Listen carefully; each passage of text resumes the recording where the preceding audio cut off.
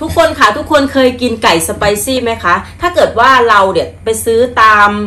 ร้านสะดวกซื้อต่างๆ เนี่ยมันจะแพงมากเลยใช่ไหมคะ อย่างอย่างที่เอาพี่อังเปาไปซื้อมาในวันนี้ใช่ไหมสามชิ้นตกเกือบ 40 บาทนะคะเพื่อนๆ วันนี้เราก็เลยคิดว่าเราอยากจะทำกินเองเพื่อที่จะน่าจะประหยัดกว่าใช่ไหมลูก แล้วก็ได้รสชาติอย่างที่เราต้องการนะคะ จะเอาเข้มข้นขนาดไหนเราก็สามารถเลือกทำเองได้เลยค่ะ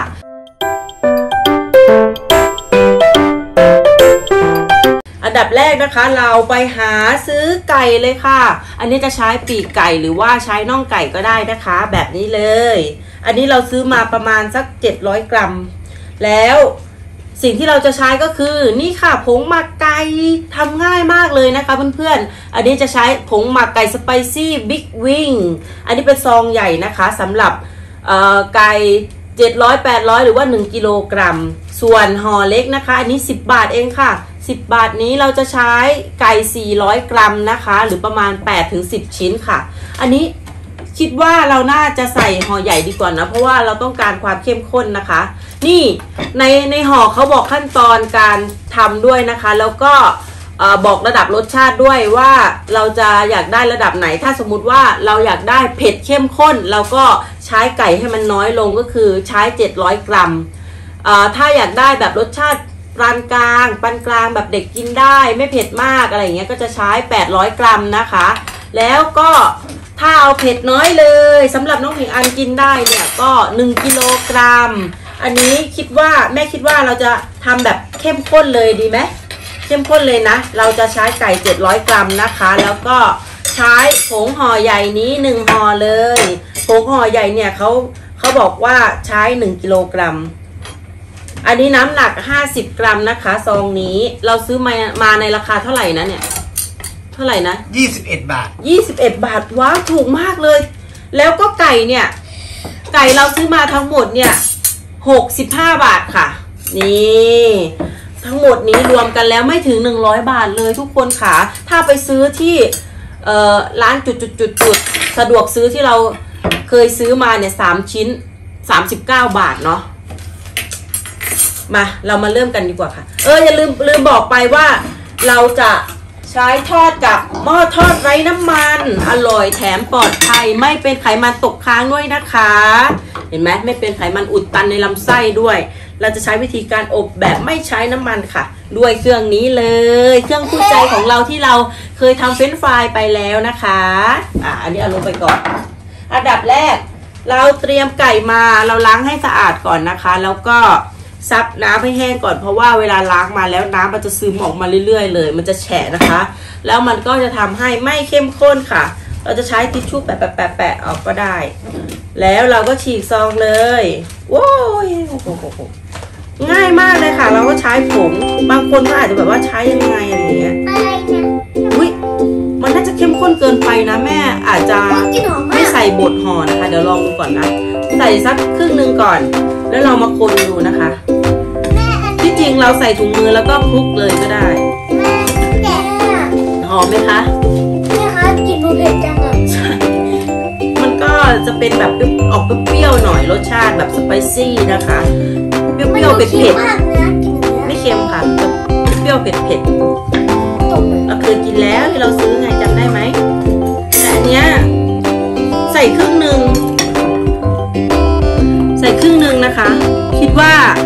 อกินได้ไหมเหรอลูก อ่าเดี๋ยวขอเพิ่มอีกนิดนึงแล้วกันนะ เราเราจะค่อยๆเพิ่มนะคะ ดูว่ามันจะเข้มข้นมากขนาดไหน กลัวเด็กกินไม่ได้แม่คะเป็นก้อนเป็นก้อนอ่าคนเลย แต่เพื่อนๆค่ะถ้าอยากให้มันเข้มข้นมากๆเนี่ย เราหมักแล้วเราเราอย่าเพิ่งเราอย่าเพิ่งอบนะคะ ให้เพื่อนๆเนี่ยหมักทิ้งไว้ 1-2ถึง2ชั่วโมงก่อน จะแลบไว้หรือว่าไปแช่ในตู้เย็นไว้ก่อนก็ได้ค่ะ1-2ชั่วโมงหรือว่าค้างคืนเลยก็ยิ่งดีนะคะ ถ้าค้างคืนเนี่ยผงสไปซี่เนี่ยมันก็จะยิ่งกลมกล่อมแล้วก็เข้าไปในเนื้อไก่ได้มากขึ้นแล้วก็ทำให้เข้มข้นสุดๆไปเลยค่ะอ่าเดี๋ยวคนไปเรื่อยๆก่อน อันนี้เราไม่มีถุงมือนะเราจะใช้ทัพพีคลุกเอากลัวเผ็ดกลัวเด็กๆเผ็ดนะคะ แต่ว่าเราก็ใช้เกือบจะหมดห่อแล้วแหละ โอ้ยจะหนีเอาอีกไหมเอาอีกไหมไม่พอแล้วพอแล้วนะ อ่า ทีนี้ เราจะทิ้งไว้1-2ชั่วโมงก่อนนะคะ เอาเอาสักชั่วโมงครึ่งก็พอเนาะสองชั่วโมงมันนานไปเดี๋ยวเด็กๆจะหิวนะคะ อ่าโอเคเดี๋ยวเราอีกหนึ่งชั่วโมงครึ่งเรามาเจอกันนะคะ เราจะเอาใส่ในหม้อทอดไร้น้ำมันกันค่ะ One hour later. ทุกคนค่ะนี่นะคะ ผ่านไปหนึ่งชั่วโมงครึ่งแล้วเราจะได้ไก่แบบนี้เลย จากนั้นนะคะเราจะเอามาใส่หม้อทอดของเราค่ะ แต่ว่าเดี๋ยวนะถ้าเพื่อนๆบ้านไหนไม่มีเครื่องเอ่อทอดหม้อทอดไร้น้ำมันนะคะ เนี่ยเขาบอกว่าสามารถใช้กับไมโครเวฟได้ด้วย แล้วก็เตาอบที่เป็นหม้ออบลมร้อนนะคะ แล้วก็หม้อหุงข้าวก็ยังทำได้นะคะ แล้วก็สามารถเอาไปทำแบบทอดในกระทะที่ใส่น้ำมันได้ด้วยค่ะ นี่เขาบอกวิธีให้เลยถ้าไมโครเวฟเนี่ย เอ่อเราจะใช้เวลา 7 นาทีเองค่ะ แล้วก็กลับด้านนะคะ ใช้อีก 7 นาที ส่วนเป็นเตาอบอะเตาเตาอบที่มันเป็นแบบสี่เหลี่ยมใหญ่ๆที่เขาใช้อบขนมปัง เอ้ยไม่ใช่เออทำขนมปังพวกคุกกี้อะไรอย่างเงี้ยใช่ไหมคะเอ่อเขาจะใช้เวลาเยอะนะประมาณ 20-30 นาทีนะคะ ส่วนหม้อหุงข้าวเนี่ยจะใช้5 15 นาที แล้วก็กลับด้านก็จะเป็น 30 นาทีรวมกันนะคะ แต่ถ้าเป็นกระทะเนี่ย เราสามารถดูได้เลยว่ามันสุกไม่สุกใช่ไหมอันนี้ง่ายนะคะ ส่วนส่วนกระทะเอ้ยหม้อทอดไร้น้ำมันเนี่ยก็จะใช้ 7 นาทีแล้วก็กลับอีก 7 นาที แต่ว่าเราจะเราจะทำประมาณ 10 นาทีน่าจะสุกพอดีนะคะ เพราะฉะนั้นเราจะใช้ทั้งหมดน่าจะประมาณสัก 20 นาทีหรือเปล่า ในที่หนีบมาดูที่หนีบมา นี่โอ้โหน่าจะเผ็ดมาก ใช่เข้มข้นมากๆเลยคีบเข้าไปเรียงข้างในเลยค่ะแต่ อันเนี้ยหม้อเนี้ยมันสุกเร็วมากเลยนะสุกจ้าเหรอ กินได้ไหมเนาะอีกอันนี้เนาะไม่ได้หรอกเออชิมดูก่อนอุ้ยเอามาโอ้ต้นยแม่กินไปจริงแต่เนื้อเผ็ดมากชิมนี่กินแล้วรสจริงเหมือนกันนิดเดียวอะทุกคนขานี่นะคะอย่างที่บอกนะคะเนี่ยเขาจะบอกให้ว่าอกไก่เท่าไหร่ นี่เขาจะใช้อุณหภูมิ 180 องศา ไปที่ 180 แล้วเราก็ตั้งเวลาเราจะเอาสักสินาทีนะคะ อ่าเริ่มเลย เริ่มเลย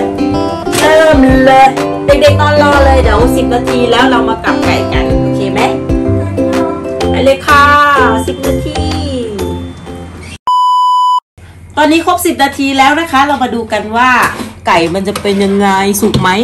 เห็นไหมบอกแล้วว่าในซองอะ เขาบอก 7 นาที แต่อันนี้ขนาดเราปรับ 10 นาทีนะคะ มันยังไม่แห้งเลยนะคะ เดี๋ยวเราจะอบต่อเอาเอาหน้าเดิมก่อนนะคะ เราจะไม่กลับนะคะ เราจะลองอบต่ออีก 7 นาทีนะคะ ในหน้าเดิมนะ เอา 7 นาทีตามที่เขาบอก เมื่อกี้ 10 นาที โอเค 7 นาทีเรามาดูว่ามันจะเยังสุกไหม นี่นะคะสรุปว่าเราอบไปได้ 17 นาทีนะคะ จะได้หน้าตาประมาณนี้นะ น่าจะได้แล้วแหละฝั่งหนึ่งนะคะ ทีนี้เราจะกลับด้านเลย เราจะอบอีก 20 นาทีเลยดีกว่า เพราะว่าเนี่ย 17 นาทีมันได้เท่านี้นะคะ มันยังไม่แห้งอ่าเราจะอบ 20 นาทีแล้วก็พอเลย น่าจะกินได้แล้วก็จะกินเลยพี่อันอย่าใกล้นะคะมันร้อนอ่ากลับด้านก่อน สรุปคือเราจะอบรอบสองแค่ 15 นาทีพอนะคะ เพราะว่าเมื่อกี้เราเปิดดูแล้วมันใช้ได้แล้วค่ะ นี่เป็นหน้าตาแบบนี้สวยมากเลย โอ้ยเผ็ดไหมอะน่าจะเผ็ดนิดนึงนะคะน่ากินน่ากินไหมพี่อันอย่าใกล้ค่ะ เมื่อกี้มันโดนมือแม่ละแสบมาก โอ้โหกำลังดีเลยอะ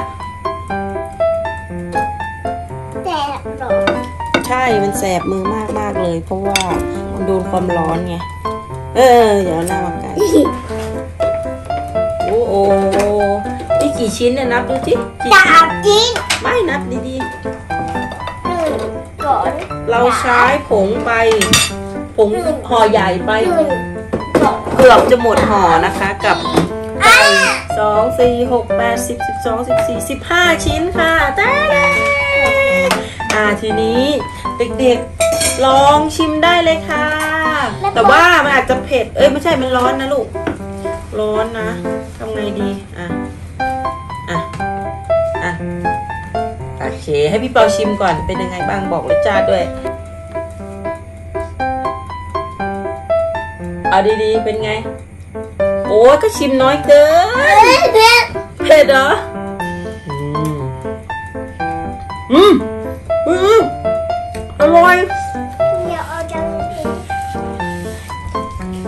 คุ้มมากๆเลยดูนะ เราเราไปซื้อเขาอะสามชิ้นสามสิบเก้าบาท หมดเนี่ยเราหมดแค่หกสิบห้าแล้วก็บวกอีกยี่สิบเอ็ดบาท เป็นแปดสิบหกบาทเองอุ๊ยได้ไก่ถึงสิบห้าโอ้ชิ้ยนเผ็ดอะ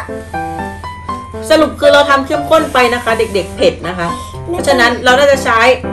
ห่อเล็กน่าจะพอดีใช่ไหมห่อเล็กแล้วก็ไก่สิบห้าชิ้นเนี่ยก็เด็กก็จะกินได้แบบไม่เผ็ด อืม อร่อย โอ้ยโอ้ยควันควันควันควันกินได้แม่เป็นอันกินได้เหรอคะเผ็ดไหมเผ็ดนิดนึง ไปเตรียมน้ำเลยไปเตรียมน้ำเลยเลยเดี๋ยวจะร้องเลยงำเป็นไงอร่อยไหม อร่อยแต่เผ็ดใช่ไหมอืม สุดยอด ชอบไหมคะ ชอบ โอเคค่ะ เป็นยังไงบ้างคะง่ายมากเลย แล้วก็คุ้มค่าคุ้มราคามากๆเลยนะคะทำกินเองแบบประหยัดสุดๆเลย ถ้าเพื่อนๆอยากทำตามก็ไปหาซื้อได้ที่เซเว่นโลตัสซื้อได้หมดเลยค่ะ มันมีขายนะคะ ผงผงแบบนี้ไหนดูสิเอาหอมาอ่าเป็นผงแบบนี้นะคะ อร่อยมากๆเลยแล้วก็ซื้อน่องไก่ซื้อปีกไก่มาทำได้เลย ใช้เวลานะเบ็ดเสร็จน่าจะประมาณ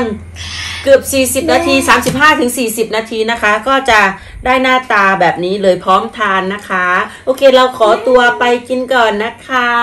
บ๊ายบายบายบาย อย่าลืมกดไลค์ กดแชร์ กด sub